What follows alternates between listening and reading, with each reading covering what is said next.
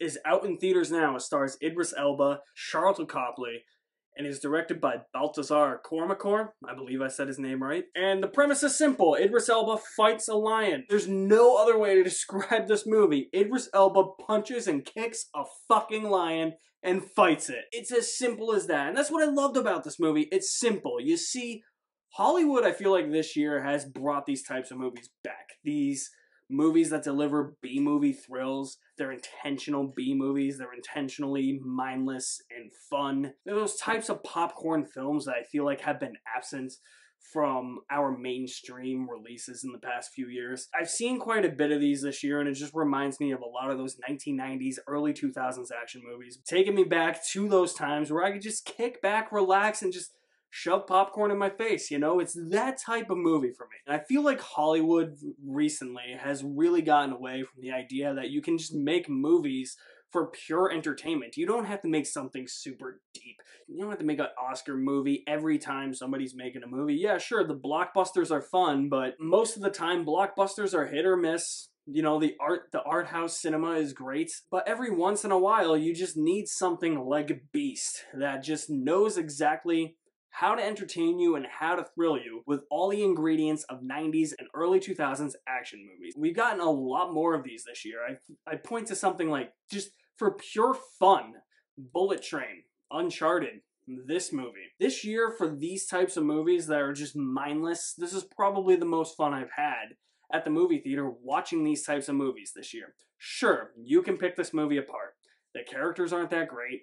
It's predictable as shit. It's cliched. The characters make stupid decisions, but you know what? Watching Idris Elba fight a lion is something to behold. I don't know what it is about it. It's Idris Elba versus fucking Simba. This is what happens when you kill the entire pride of Simba. Simba is just going to erupt and go off for revenge. Evil Simba is here. Don't piss him off. He was once a lion cub. He is now the Lion King show some respect. If I have to talk about an actual aspect of the filmmaking, I did like that there were a lot of great long takes in this movie.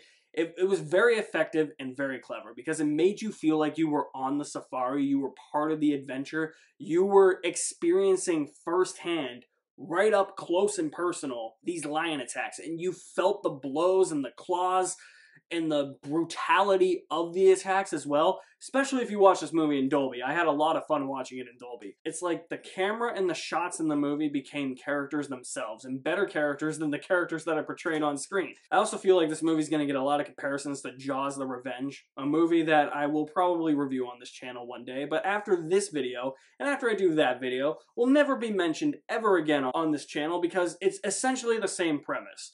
Jaws the Revenge was it, it was stupid for sure because sharks don't get revenge after their three buddies have been killed. He's pissed that his three other shark buddies have been killed. This seems a little bit more logical.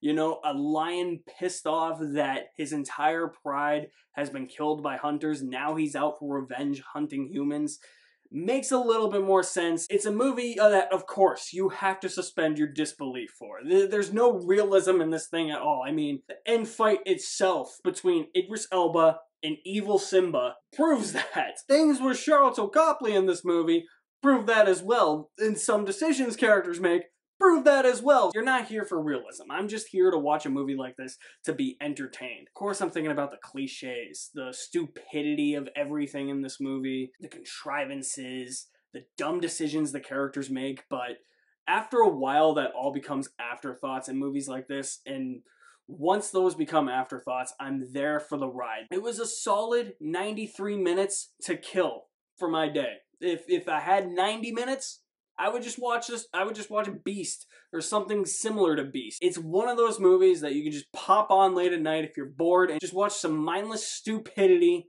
on screen and allow it to deliver that B level type of entertainment movies like this should deliver and take you back to the 90s and early 2000s where action movies didn't mind being mindless popcorn fun. I enjoyed Beast with three quarters worth of a bucket of popcorn. 2022 has really delivered on movies like this and I really hope going forward Hollywood realizes that sometimes you just need mindless dumb stupidity in movies and we just like B level thrills sometimes. I'm not talking about stuff from like Netflix, like The Gray Man or anything. No, not not that shit. Shit like this, where you can just pop your brain off for an hour and a half to two hours and sit back, relax, shove popcorn in your face, and enjoy the ride. So if you have seen Beast, I want to know what you thought of it in the comment section below. I'll leave my link to my website in the description below as well. You guys are the best. Thank you for watching. My name is Alex Madden, and I'll see you at the movies somewhere.